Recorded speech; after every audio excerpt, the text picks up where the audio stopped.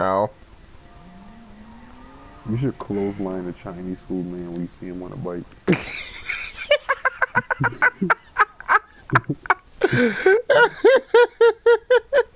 Come on, man. That could have been you. Don't hit him, bro, because I would have got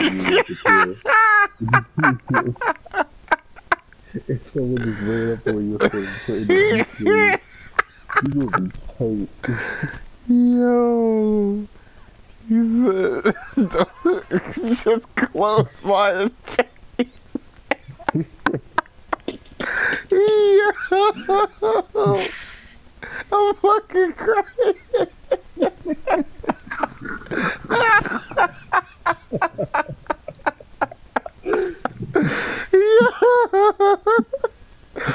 oh my god.